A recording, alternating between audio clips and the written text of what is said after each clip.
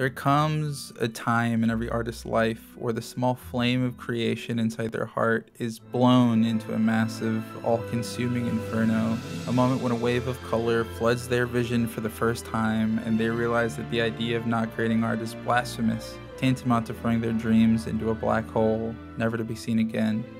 For a lot of filmmakers, that moment was sitting in cinemas across the world on opening day of Star Wars and New Hope and seeing the brilliant blue light erupt from the silver hilt of Luke's newly acquired lightsaber as John Williams' score burst from the theater speakers. For director Masaki Yuasa, that moment came from watching films with surrealist animation styles like Yellow Submarine and Fantastic Planet next to all of the Saturday morning anime he watched as a kid. Finally, for Asakusa Midori, a young girl obsessed with exploring and adventure, it was a fateful night when her parents were out of the house and the rain obscured the world outside her windows. Alone in that gloomy atmosphere, wrapped in her comfiest blanket, she laid her eyes on Conan of the Lost Island for the first time. As its fantastical world unraveled on the screen in front of her, she found herself getting lost in its rolling green hills and azure skies, the same way its protagonist did. Then an epiphany dawned on her. Somebody created Conan of the Lost Island. Somebody created all of the anime that she watched. At that moment, Destiny thrust her life's mission onto her to create the world she always dreamed of exploring by making her own anime. This is Keep Your Hands Off Eizouken, in love with creating art. I've watched a lot of media whose plot consists exclusively of giving the viewer a peek behind the creation of the same medium they were being told through, but none have so seamlessly blended the trifecta of imagination, passion, and realism that I've seen in Eizouken. From Singing in the Rain through Bakuman to understanding comics, the only thing that even comes close is Fellini's 8.5, and that's a masterpiece that deserves its own separate dissertation. Eizouken is undoubtedly special because of the way it intertwines the aforementioned three elements into one wonderful and cohesive 12 episode narrative love letter to both its creators and the media that inspired them to become artists. As you gaze on Eizouken's world for the first time, you'll immediately notice the larger than life quality embodied by the city of Shibahama while still feeling cozy. It's a city filled to the brim with every building and shop imaginable laid on top of each other, yet its characters never feel lost within its maze. Like a wicked mix of Skyscraper 2 and Kamurocho, I've always loved bizarre architecture and media, so one single glance at the city's canal roads and haphazardly placed buildings started my love for the series from a purely visual standpoint. It's truly a feast for the eyes, but the important thing is what this wacky world is supposed to represent. Eizouken isn't interested in replicating what life actually looks like. Instead, it's obsessed with replicating how life feels Go back in time to being a kid on a hot summer's day before realizing the horrors of living under late stage capitalism. Remember the breeze, the sizzle of the sun on your skin. Remember you and your friends getting together with backpacks filled with adventuring supplies, then bravely venturing into the woods that surrounded your hometown because you were looking for the fabled secret treasure that was rumored to be buried there. It didn't feel like you were simply walking into a forest, did it? Felt like you were brave adventurers embarking on a heroic journey of discovery. Maybe it wasn't that exact scenario. Maybe you climbed all over your furniture pretending to be Spider Man. Or maybe you turned off all the lights in your house, then snuck around pretending to totally be a spy.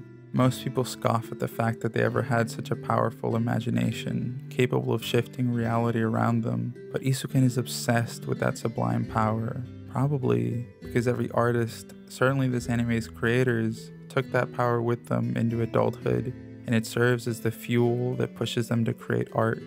When Asakusa first moves to Shibahama at the start of the series, she inspects every single passageway, hidden basement, and canal of her new metropolis like home, documenting every last bit of it in one of her many, many field guides. As she explores, the art style shifts from traditional animation to black and white doodles. That shift means that Asakusa is laying the world she's meticulously imagined in her head over the real world she's experiencing.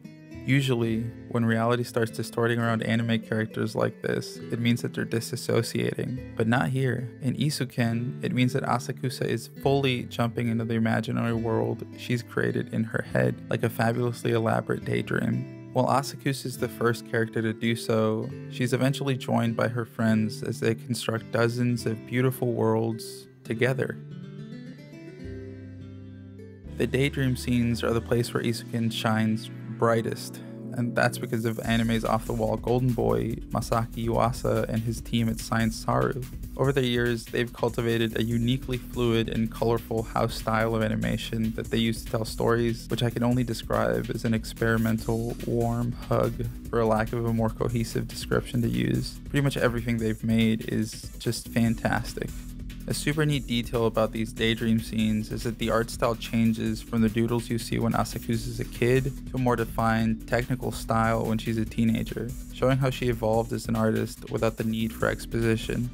As the traditionally animated world fades around the girls, they enter a world resembling the drawings in Asakusa and Mizusaki's sketchbooks, one built out of line art and watercolors on a white canvas. The best example comes from the first episode, when Asakusa and Mizusaki draw a scene together for the first time in the ramen shop. They fall into a world of rotating gears, flowing windmills, and cascading waterfalls. The coolest thing about the worlds that the girls create is that they're not static. They're fantastical, but realistic, built out of real fake machines that were clearly designed to have a purpose and not just for aesthetic values. Asakusa has to physically tighten the last few lug nuts on their Dragonfly aircraft. They have to pull a lever to open the hangar door so they can leave. Mizusaki and Kanamori have to use all of their strength to push the craft so that it can get enough momentum for its engines to start. When they leave the hangar, their ship stalls in midair, magnetically drawn downwards into the water because of how heavy it is. It falls and it continues to fall, making you think that they're not destined to succeed. Then it flies, zipping for the air with a strong heft to it, and not being able to stop on a dime because something that heavy never could. The worlds they create have an internal logic to them, always keeping the verisimilitude they established from the very first scene. When the trio reaches space, they literally see the sun dawning on their new world, only for them to be returned to the real world, where it's dawned on them that they're capable of creating new worlds if they work together. Fueled by that burst of imagination, they set out to start their own animation studio, and that's where their creative journey truly begins. Everything they'd done before was just a dress rehearsal. Sadly, imagination can only get you so far. The second crucial piece that pushes artists to create is passion passion for art, passion for exploration, passion for life. Each of the three main characters is superhumanly passionate about achieving one goal they've held since childhood a goal that they can only achieve together in the Eizouken. Asakusa is an explorer at heart, a girl in love with the world that she inhabits, always looking to find every secret that it hides. And if she didn't find any secrets, she would create her own fantastical world to fill in the gaps. When we first see her after the intro, she's drawing on the roof of a school building, describing all the weird features of Shibahama with forensic detail. Inside her sketchbook, there's a sprawling recreation of her school with an attached forest that wouldn't look out of place in a Tales game. She views the world through an incredibly imaginative lens, with a keen eye for what seems out of place that leads to her passion for creating the greatest world imaginable through anime. Mizusaki is the more typical protagonist of an anime about making anime the girl whose parents forbid her from even holding a sketchpad, so she has to go behind their backs to pursue her dreams, only for them to accept her once they see how talented she truly is. As a kid, he saw her grandmother throw a cup of tea onto the garden and was entranced by the movement of the liquid as it sailed through the air, asking her grandma to repeat it again and again until she had its arc memorized. Right then, she fell in love with the way that things moved, making it her life's mission to capture it on paper and film. She tried to draw everything that moved, from the way she got up from her chair to how her grandma walked down the hall. As a teenager, she became the Eizouken's chief animator, in charge of drawing everything that moves.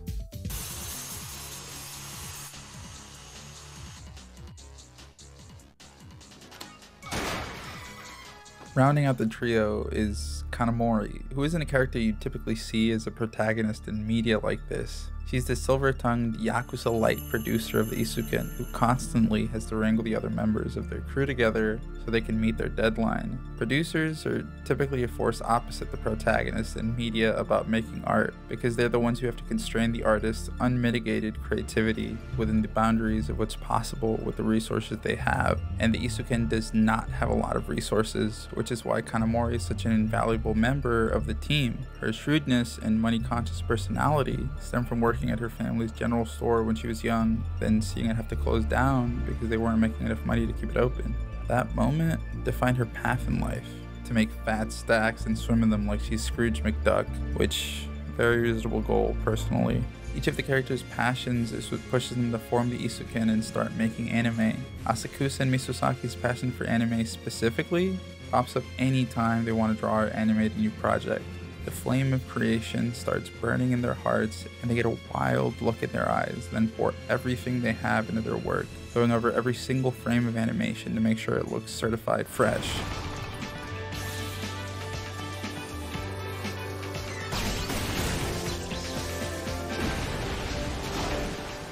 But that intense passion isn't exclusive to the main characters. Instead, it runs through every single character in the series, even if they only show up for one or two episodes. Doumeki, who's the sole member of the school's nearly defunct sound club, loves sounds. She aims to protect and expand the school's sound library until it becomes as big as the Library of Babel.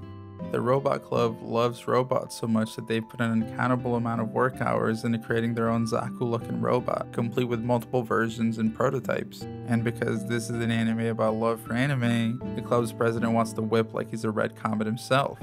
Even Mr. Fujimoto, who comes off as apathetic to his duties, loves teaching. I mean, what other teacher would spend every one of his off days locked in a hot car at school so that his students can follow their dreams of making anime?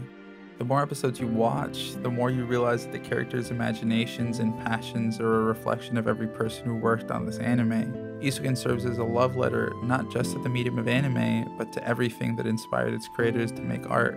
There's so many references and homages scattered throughout the series precisely because its creators wanted to show reverence and admiration to the things that they love. The anime that inspired Asakusa to create her perfect world? That's a reference to Future Boy Conan. There's a moment where Asakusa expresses that she's becoming a pro, so she's wearing a Miyazaki costume, one of the baddest dudes to ever pick up a pencil.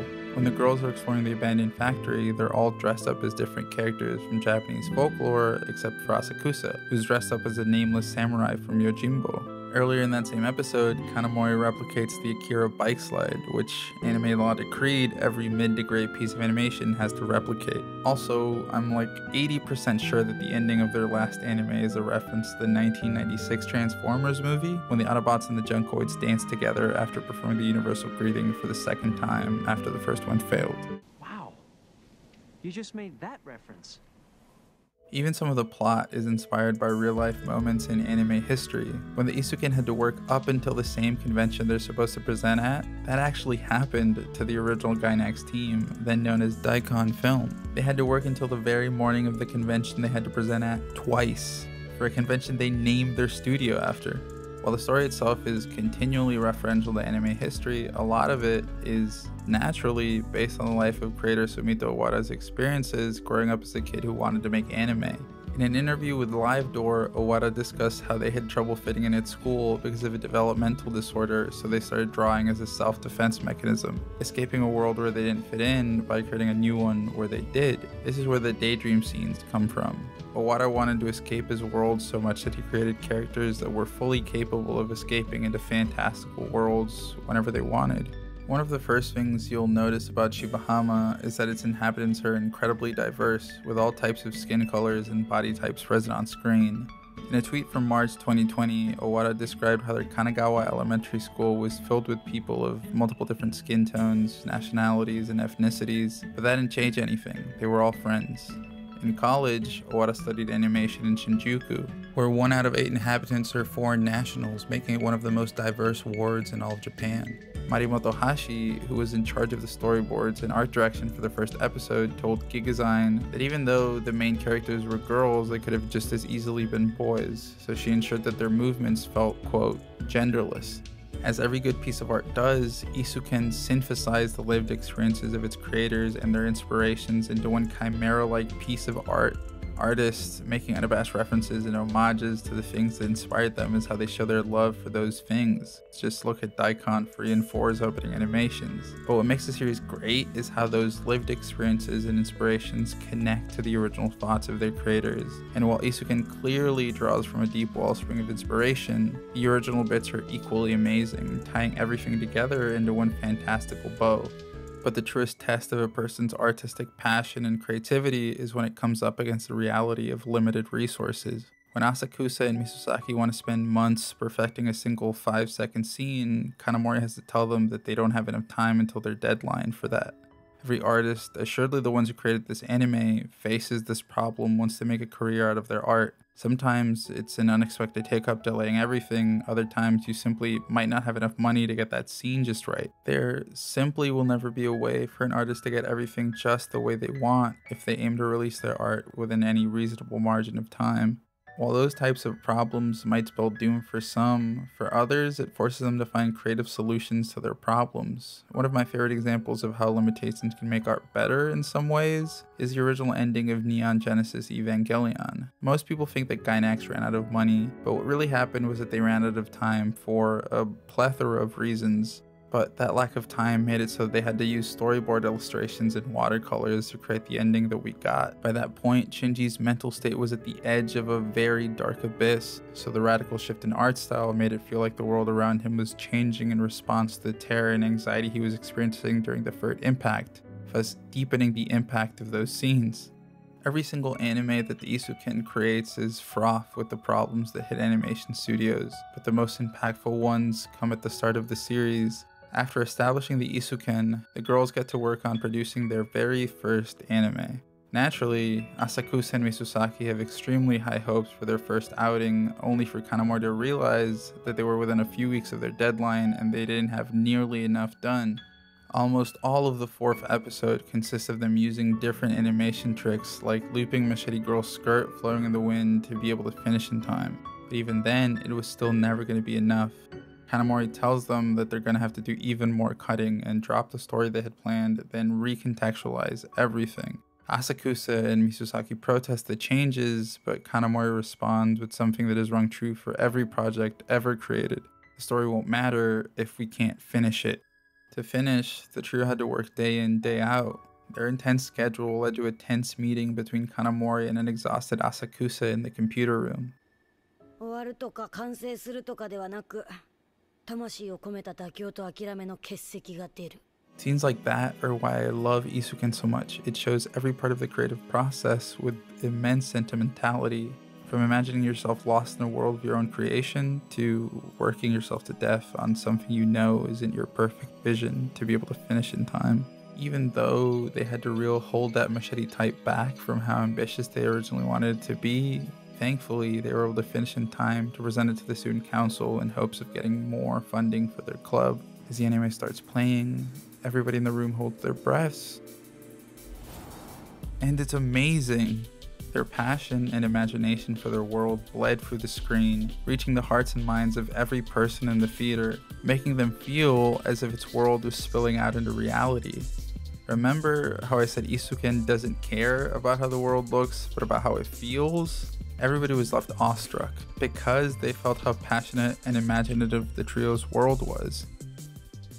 Everybody, that is, except the Eizouken, they were still seated, oblivious to the world around them, discussing how they could have made it even slightly better. Host of This American Life, Ira Glass, defined the disconnect between the ideas you have in your head and what you actually create as the taste gap. He argued that people who get into making art do it because they have killer taste, but the things they make rarely live up to it because they have little practical experience making art. That disappointment makes a lot of people quit before they really start. But the truth is that every single artist ever has gone through that phase, and the only way to get out of it is just to make as much art as you physically can. The more art you create, the better you'll be at making art, and the better you'll be at dealing with the limitations that get thrown your way until eventually you bridge the taste gap There's always going to be room for improvement in pretty much everything you will ever create, whether it's an anime or a YouTube video about an anime about making anime. I'd be hard pressed to think of any artist who wouldn't go back and edit some small piece of something they created, even if people think it's a masterpiece. Just look at the amount of endings Evangelion has. But what that scene wants to emphasize is that even if you think your stuff isn't good enough to show anybody, you should still make it because your head is brimming with ideas while your body is overflowing with passion and your heart is filled with the flame of creation. Limitations, both the ones you put on yourself and those imposed on you by the world, will always be there, but you can learn to overcome them. Even if the stuff you make isn't as good as you think it should be, you should keep making stuff. That's the only way we're gonna get better at making stuff. That's what the Eizouken did. That's what I'm trying to do right now with this video and all the rest I'm planning.